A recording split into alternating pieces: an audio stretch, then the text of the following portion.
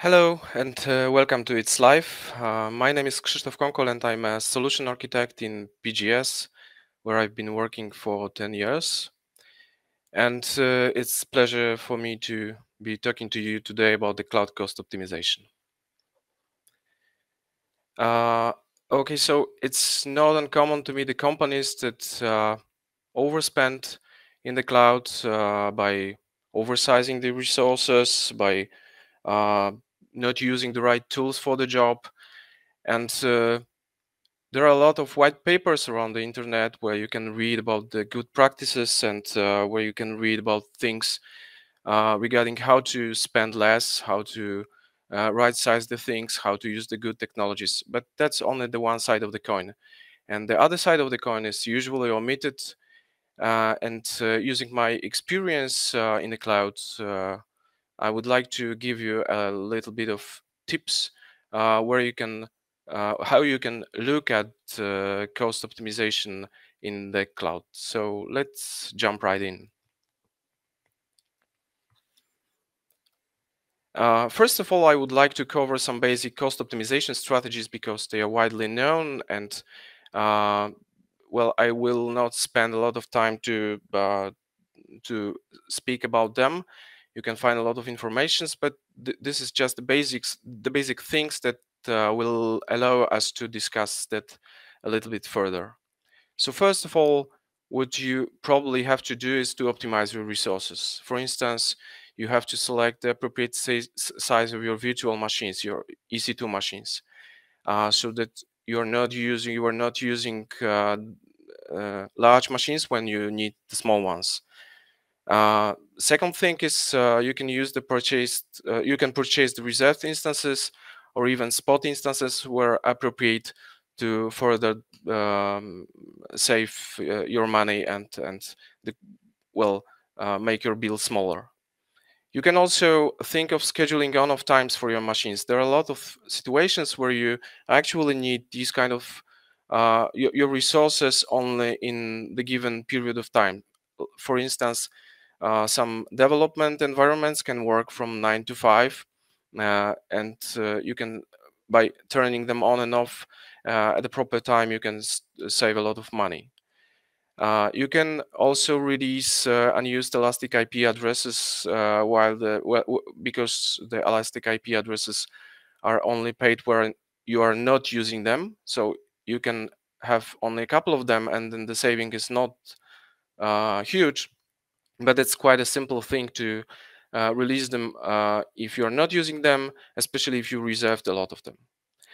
You can also delete unused uh, Elastic block, block storages uh, or another unused resources. That's quite common uh, when some resources were created uh, just for making some experiments and people sometimes forget to delete them, to remove them. And well, the billing might be quite large because of these unused things. Well, the next layer of thinking about cost optimization is thinking about how you would like to uh, develop your uh, application, how you would like to manage your uh, workload. Uh, for instance, you can uh, take the serverless uh, approach or use managed services or use both of them at the same time. this is quite important because serverless approach allows you to scale effectively. Mm, you don't pay for the uh, for, for the resources if you're not using them and you might pay uh, quite a lot if the traffic is high but you know when you're paying a lot for your serverless resources it means that your application is actually uh, very often used. So the costs are uh, at, at, the, at, this moment the cost is uh, not your actual challenge. Uh, however using this kind of approach requires you to think of what actually can be made serverless. And uh, um, for instance, you can also use managed services uh, which uh, actually allow you to store to save money not only because of uh, the price of the resources but also because you are basing on the shared responsibility model of AWS which means that you can limit your security concerns um, and you can uh, save money on your IT labor to take care about things that you actually don't have to care when using managed service services. And of course, uh, there is one thing which is very important uh, for managed services and serverless services. Um, that uh, these kind of uh, resources, these kind of services allow you to experiment quickly and efficiently. This is very important uh, when you would like to create something from scratch and you would like to just check a hypothesis, you would like to check uh, and verify your approach if it's useful or not, uh, then you don't have to spend a lot of money for uh, virtual machines. You just have to create a simple, for instance, Lambda function that will uh, allow you to verify uh, how, how that works and if this approach is actually uh, valid for your business concern. You can also use uh, AWS tools effectively. Uh, there are a lot of tools that allow you to uh, verify your verify and improve your cost efficiency in the cloud. For instance, you can use Trusted Advisor. You can use also Cost Explorer that will let you know what are you spending uh, for in the cloud. You can use your budgets to AWS budgets that uh, allow you to uh, be alerted when some uh, level of cost is uh, um, crossed or, or you, you spend more than, than you actually assumed. You can use also cost usage report, you can use billing, and all of these tools that allow you to actually know what you're spending for. But let's speak about some typical use cases um, where you have to uh, consider these kind of uh, costs and how these typical use cases actually might change your perspective. For instance, let's try to focus on AWS S3. Uh, you can try to save money on the object storage and you can in introduce your intelligent tiering. You can use lifecycle policies to move uh, the resources to, to, the objects from the tier to the tier. You can utilize the Glacier, which is a very uh, inexpensive solution. But the thing is, you have to ask yourself how much uh, resources actually you store in S3. How many objects? Is it terabytes level? It's a petabyte level? Uh, because the basic pricing for S3 is about uh, a little bit above two cents per gigabyte per month. This actually means that you, if you store um, one terabyte uh, in in the cloud, you are spending something like 20 uh, dollars if if I calculate correctly uh, per month. Does it mean that implementing all of these things uh, to automate moving these uh, your objects from the tier to the tier is worth saving this twenty dollars per month? Of course, if you store petabytes, it might be worth that. But if you store less, then maybe it's better to stay on the basic uh, mm, S3 uh, storage layer uh, and not take care of that too much and focus on different things where you can actually optimize your cost. For instance, you can think of a containerization. Containerization is just a widely known technology. Um, many workloads are moved to containers, to Docker containers especially. Mm, there are a lot of tools that uh, support containerization, which are native, which are managed in the cloud, like ECS or EKS in uh, in Amazon.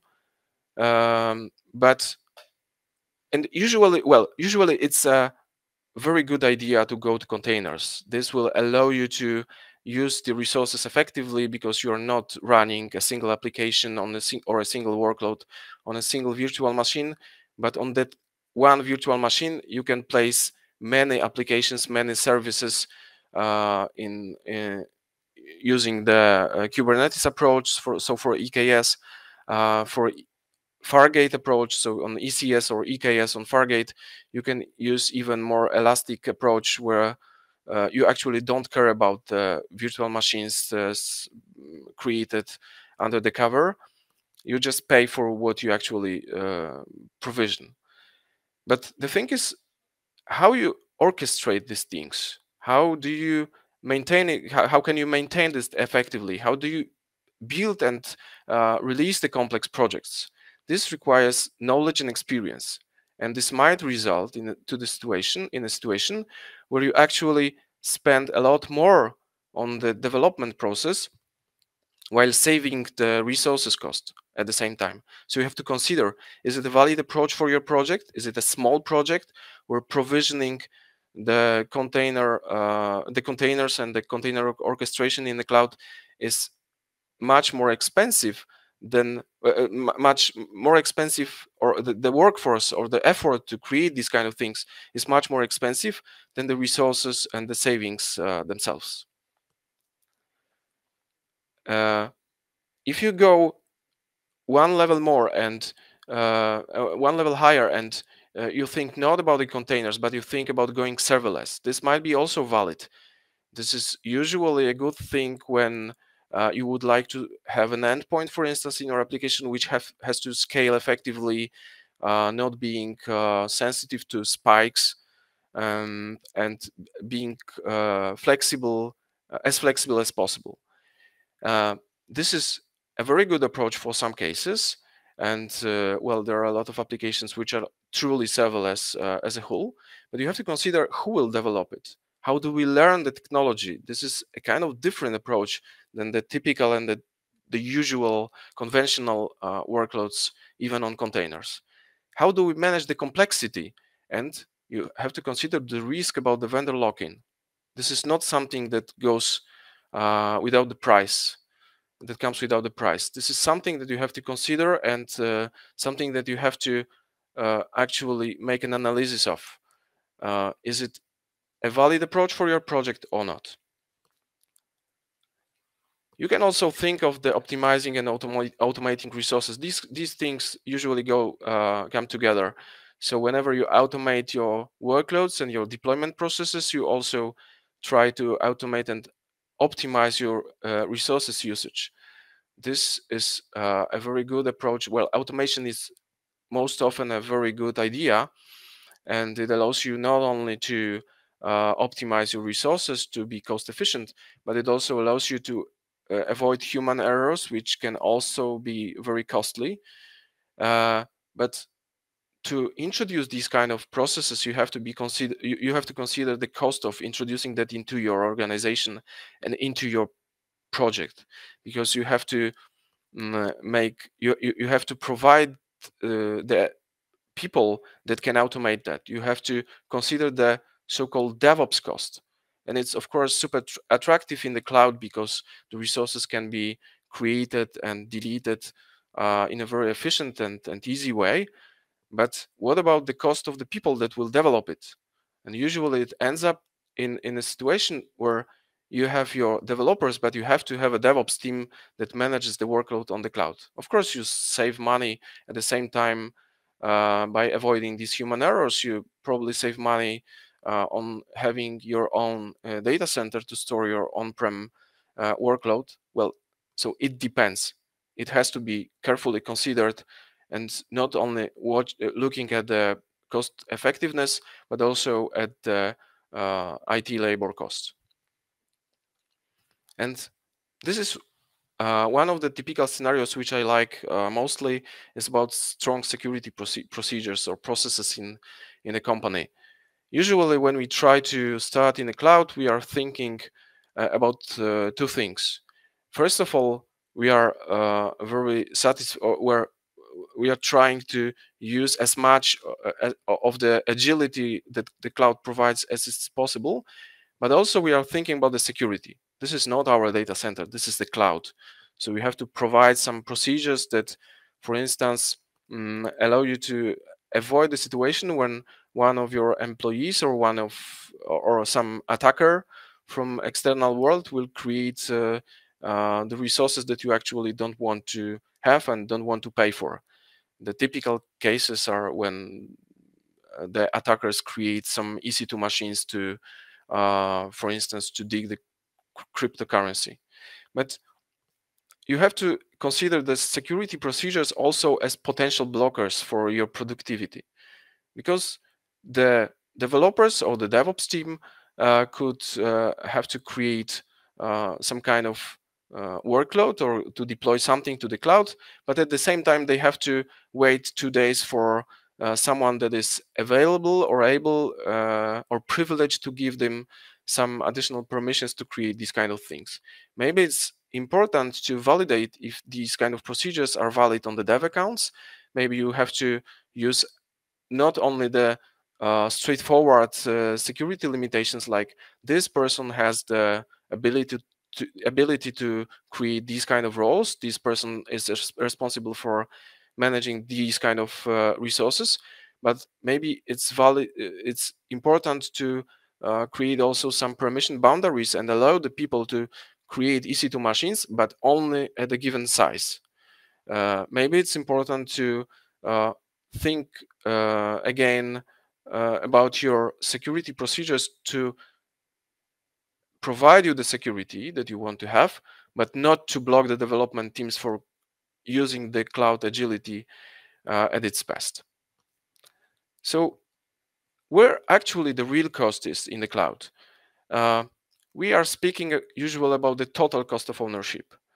the total cost of ownership means that it's the sum of all costs involved in the cloud and not only in, the cloud. This is just a general term, but we are speaking here about the AWS cloud. So let's focus on that. So total cost of ownership is the sum of all costs involved in the purchase, but also operation and maintenance of a given asset during its lifetime. This also means that we are trying to expand this uh, definition uh, not only to the resources that are provisioned in the cloud, but also to the workloads that you are you want to uh, run on the cloud. Uh, that's why I spoke a lot of uh, the uh, development cost, a lot of different things, and I try to summarize that.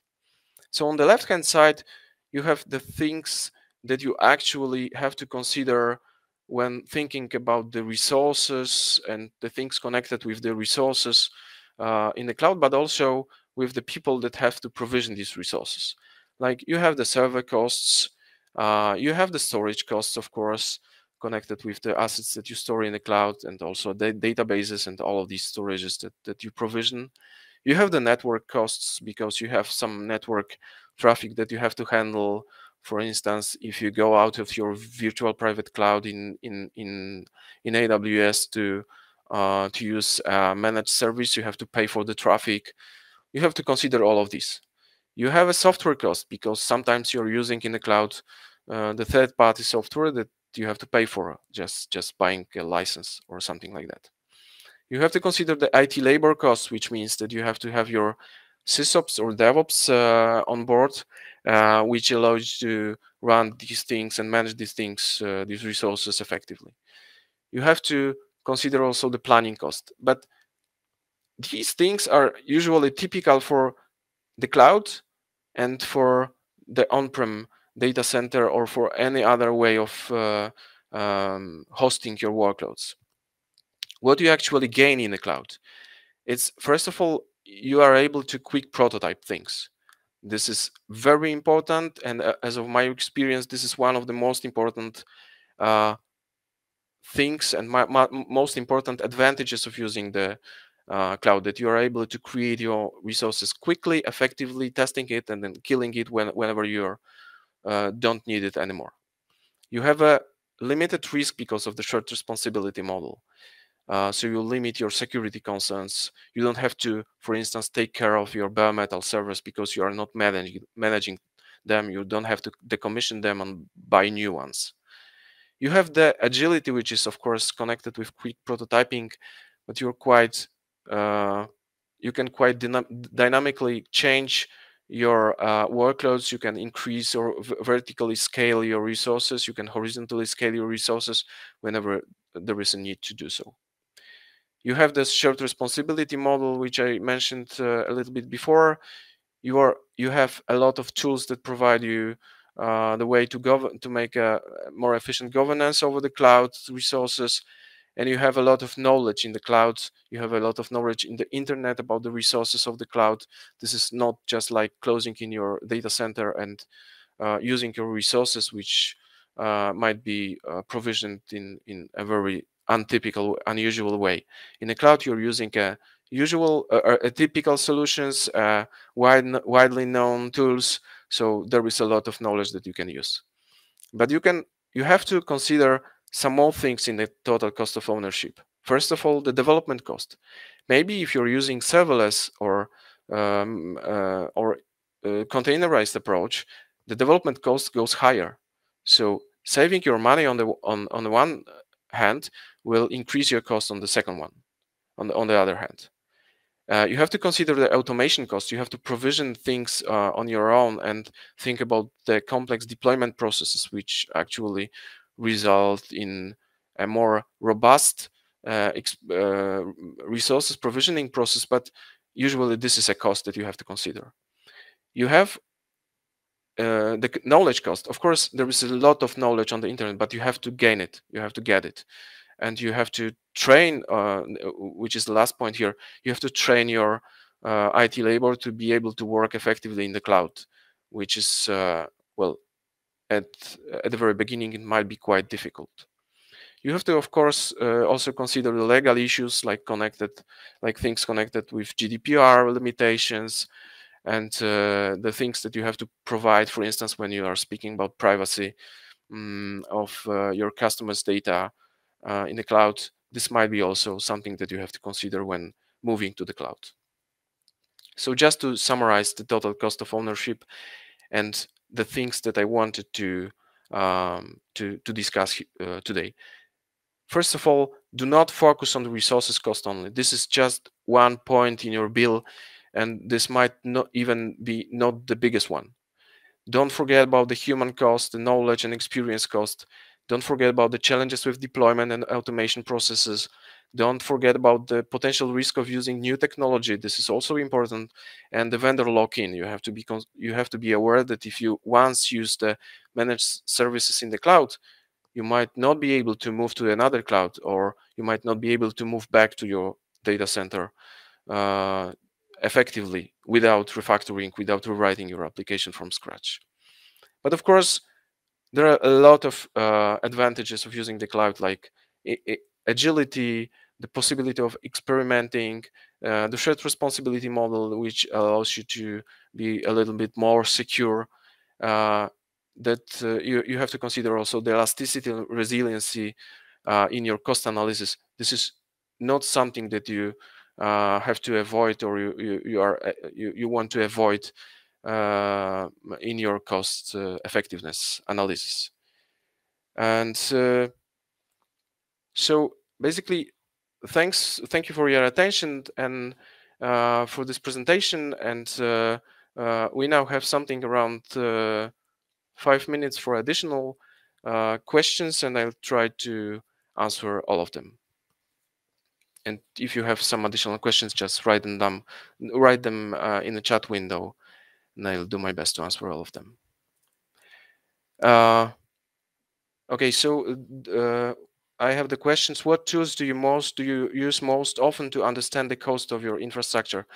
Well, there are a lot of tools uh, like Cost Explorer, uh, but uh, most often I use the basic tool, which is a bill drill down this will allow me to uh, see where the real cost is because in cost explorer the first sight you might see for instance that the ec2 machines is something like 25% of your bill while the less the, the the rest of the things are i don't know 60 or 70 and you have some uh, additional cost connected with the tools that you are using but the bill drill down will give you the good insight where the actual cost is so you might see that in the 60% of your bill is the rest of the uh, resources, but you might see that uh, S3 is something like, I don't know, 1% of your bill. So you don't have to uh, focus on that position to uh, to make it cost effective. Maybe um, focusing on EC2 or RDS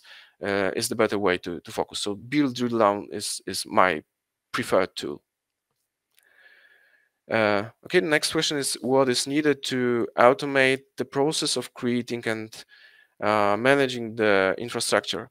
Well, you need a DevOps on board. This is for sure. Uh, and you have to select your tools.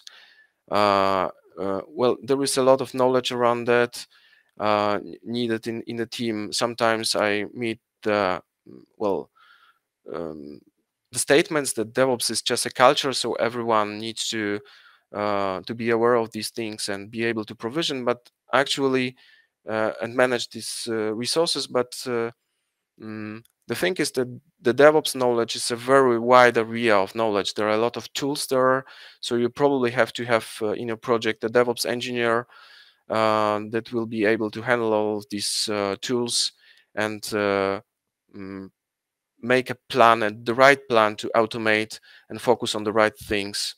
Uh, so the first of all, knowledge or a person that knows how to do it, and the second thing, the tools.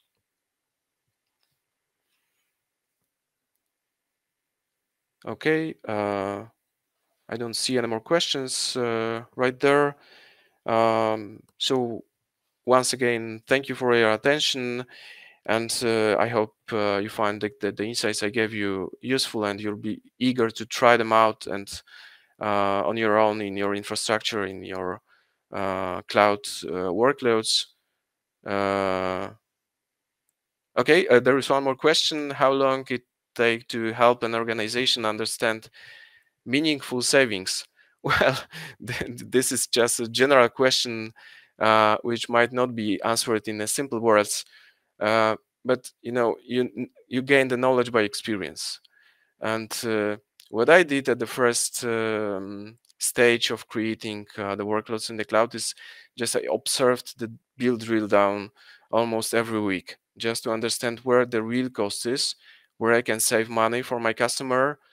And uh, then I learned how to plan the uh, future savings. And then I tried to use this knowledge to architect a good solution for the customer to, first of all, uh, make it use usage, uh, make the right use of the uh, cloud resources. And uh, on the second hand, on, on, on the additionally to save some money if it's uh, possible. But I always focused on the effectiveness of using the resources, which is not always connected with the cost. Okay, so whenever you have some any additional questions, uh, don't hesitate to to to uh, to contact me for a chat, and I'll try to uh, help you with all the things related to the cloud. Uh, thanks for attention uh, once again and uh, have a nice rest of the week.